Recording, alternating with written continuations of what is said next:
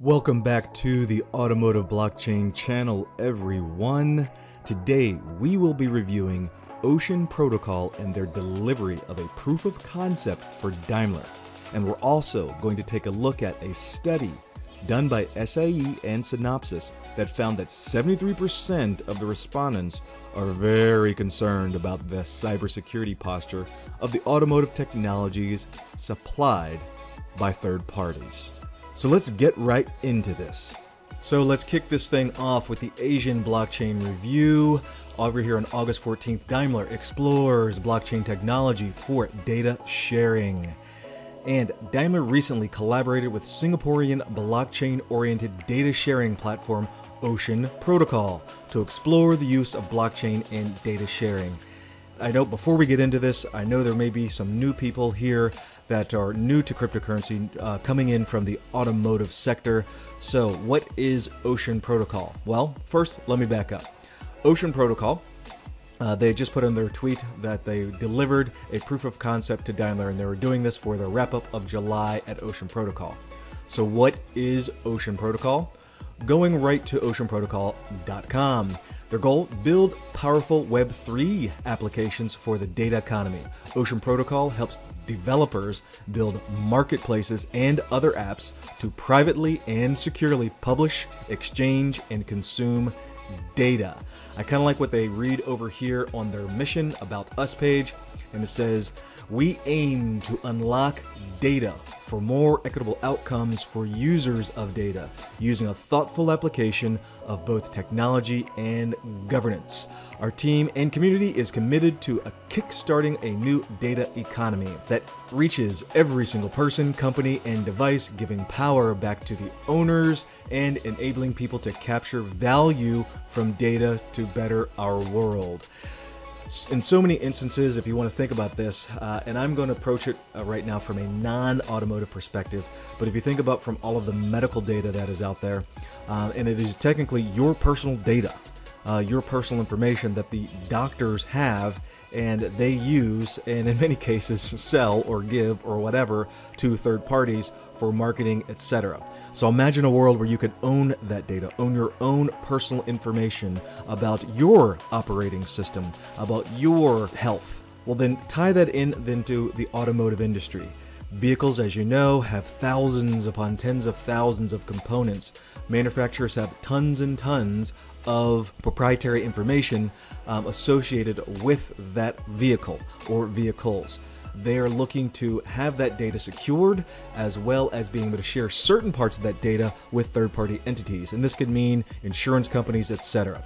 So, back to the article this technology will decentralize information to see how data streams across the supply chain and within the company can be within the company can be monetized. This move, Daimler will hopefully make large enterprises more confident about decentralizing data to to extract crucial information from the supply chain. Essentially, what they are saying here is that we are looking to make money, make paper, and, albeit, make some coin. Whether it be Bitcoin, some other type of token, whatever it is, on their actual data. The data sharing will enable more transparency among everyone involved in the supply network, while still keeping a tab on who can access which data. So they're going to keep tabs on all of that.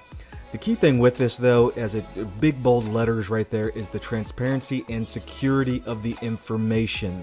In just a few moments, I'll be bringing up the SAE and Synopsys uh, study that they had shown with cybersecurity issues that they found in the automotive industry. So stay tuned for that coming in just a few moments.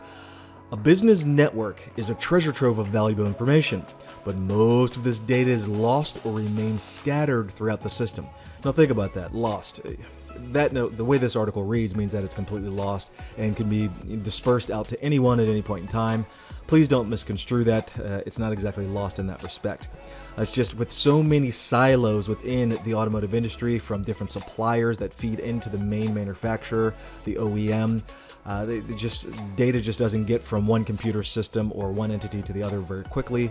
Uh, there's a lot of roadblocks involved with that. So the blockchain is going to help streamline that process. Continuing, businesses are realizing just how valuable this disseminated data is. But unfortunately, harmonizing the information can cost com- uh, companies millions.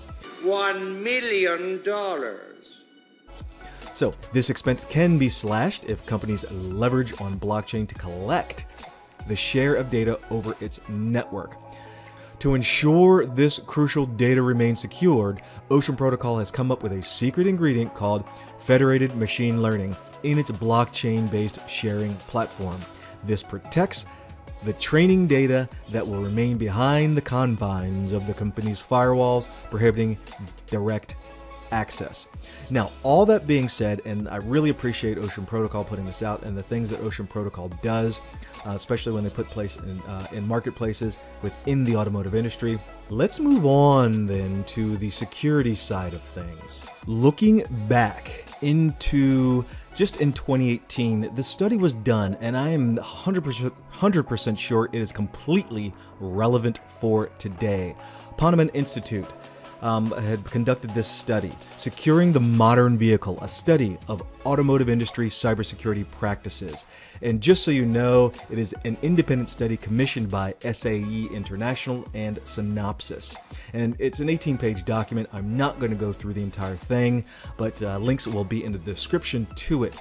That said, I will go over a couple of highlights from it, first starting with the executive summary. Synopsys and SAE International partnered to commission this independent survey of the current cybersecurity practices within the automotive industry to fill a gap that has existed for far too long. So they're literally, uh, I think they're coming out the gate right up front saying, look, there's some serious problems here, and we're going to go ahead and start revealing some things here. Let's dig a little deeper. As this report demonstrates, both automobile OEMs and their suppliers are struggling to keep the technologies used in their products. 84% repeat 84% of the respondents to our survey have concerns that cybersecurity practices are not keeping pace with the ever evolving security landscape. And as you can see here, they show a quick chart. 84% have concerns that cybersecurity practices are not keeping pace with evolving technologies. 30% do not have an established product cybersecurity program or team. Do you realize this? 30%. Another 63% test less than half of the hardware, software, and other technologies for vulnerabilities. Vulnerabilities. Repeat, 63% test less than half of the hardware, software, and other technologies. That is huge, folks.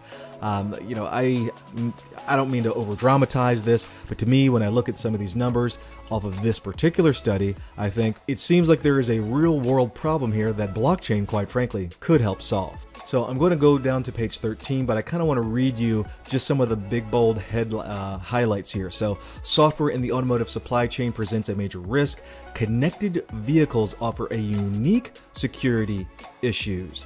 That's kind of interesting. And I'll read a little bit on this as um, respondents to our survey viewed that technologies with the greatest risk to be RF technologies such as Wi-Fi and Bluetooth telematics, and self driving autonomous vehicles. This suggests non critical systems and connectivity are low hanging fruit for attacks and should be the main focus. So, that is very interesting when it comes to the connected vehicles. Um, now, scrolling down here to, and they give uh, they give a couple of studies in here uh, with a couple of questions. Please take some time to go ahead and read this, uh, read it through. I'm going to cruise down to page 13, where it reads Vulnerabilities and quality issues are a result of a lack of consistent use and secure software development in lifecycle practices. And this is some of the some very interesting statistics come out of here. I'm going to pop this one out. 60% of the respondents say a lack of understanding training on secure coding practices leads to vulnerabilities in automotive software technology components. 55% cite accidental coding errors as we skip down to the supply chain and third party component. And remember, just over here in the Daimler uh, article, we were talking about the supply chain and sharing of information. So when we go over here to this article, notice very quickly supply chain and third party component challenges. There are challenges with this. So perhaps, as I am suggesting, Ocean Protocol will help solve some of these challenges. Here we go. The automotive industry's complex and disparate supply chain is a major culprit in causing quality issues, rendering security vulnerabilities. The frequent integration of third party components, software, communication, protocols, applications often introduce threat vectors that OEMs must address. Several key takeaways were related to these factors. Big statistic that pops out of this is 73% of respondents are very concerned, repeat, very concerned about the cybersecurity posture of automotive technology supplied by third parties. It's not so much they're saying the OEMs, it's saying, hey, these third party entities that have factories of their own, have different protocols for, the, uh, for maintaining their own data standards, uh, we're a little concerned about that. Another 68% are also very concerned about the cybersecurity posturing of the industry as a whole. So you can go down here and look at this. One last thing I am going to say about this, and that is as follows. With the methods that they looked at, a sampling frame of 15,000 IT security practitioners and engineers in the automotive industry were selected as participants in this survey. You can go on and read more about it. One thing uh, to note on this, just so you understand, is that you can see this little chart down here. Uh, over 50, or excuse me, by design, more than half, 60%, hold engineer or higher ranking positions. So, this is a wrap up, everyone. You saw earlier about Mercedes Benz working with the Ocean Protocol to help solve some of the supply chain communications and being able to monetize the data. One of the important things about that data and sharing it across through the through the supply chain is its security. Just a little bit before that, in 2018, SAE, along with Synopsys, had put out this particular article here, uh, excuse me, this case study here, uh, discussing a lot of cybersecurity issues that they had found in their case study within the automotive industry. Go ahead, take some moment, look at this particular article, and of course, please, if you've liked this video, go ahead, hit the like button, also hit subscribe, and I'll see you on the next video.